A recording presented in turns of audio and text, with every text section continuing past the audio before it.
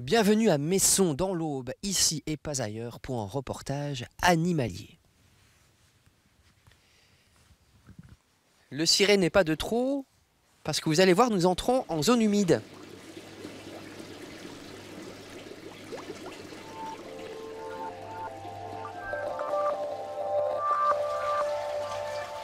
Nous sommes chez un plombier dont l'intérêt pour les poissons exotiques est en train de prendre le dessus sur son métier.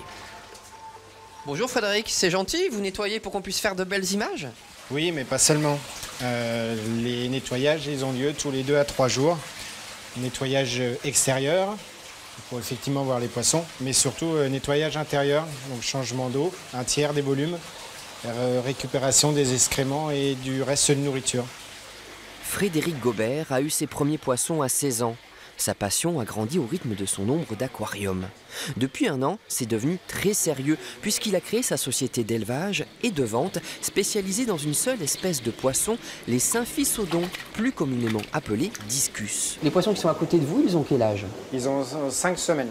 Alors pour l'instant, ils n'ont pas de couleur. Pour l'instant, ils n'ont pas de couleur, c'est normal. Toutes les variétés de discus, les alvins au fur et à mesure de leur, de leur croissance jusqu'à près de deux mois, restent de couleur relativement brune.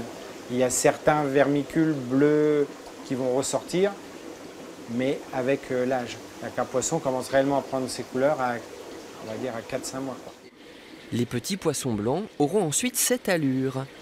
Maintenant, concentrez-vous bien. Collés à leurs parents, des nouveau-nés de 3 jours. Le papa et la maman sécrètent un mucus que les jeunes discus viennent picorer. Alors eux, ils restent groupés parce qu'ils viennent d'arriver à Messon. Hier encore, ils étaient dans l'avion. Ils venaient de Malaisie. Les discus sont des poissons d'eau douce originaires de l'Amazonie, mais c'est en Malaisie que se trouvent les plus gros élevages. Chaque année, Frédéric va à Kuala Lumpur. Il s'est associé avec un Malais, Jackson, qui lui envoie les poissons, qu'il élève ensuite chez lui, dans l'Aube. Aujourd'hui, Frédéric doit préparer une commande pour un client parisien.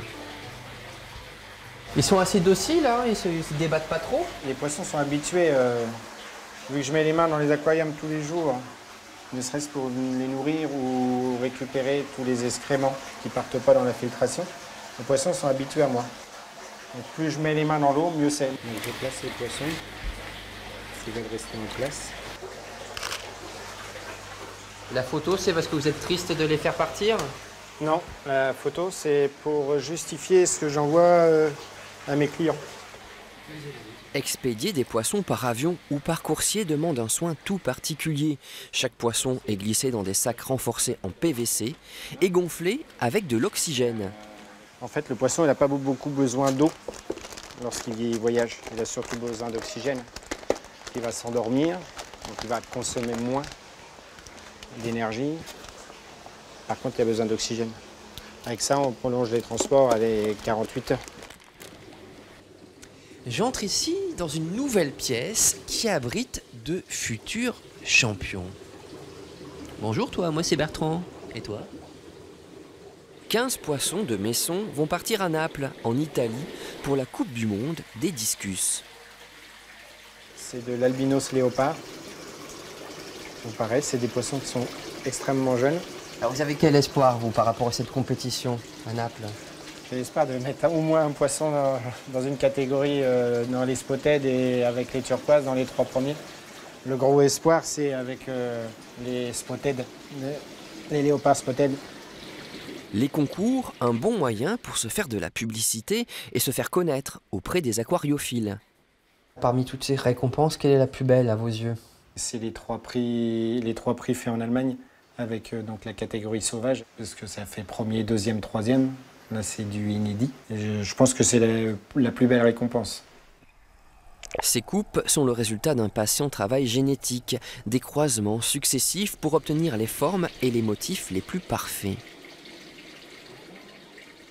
La sérénité du grand âge, cette femelle discus est à la retraite. Fini pour elle les compétitions et la course au trophée. Elle observe maintenant le monde avec circonspection depuis le fond de son aquarium.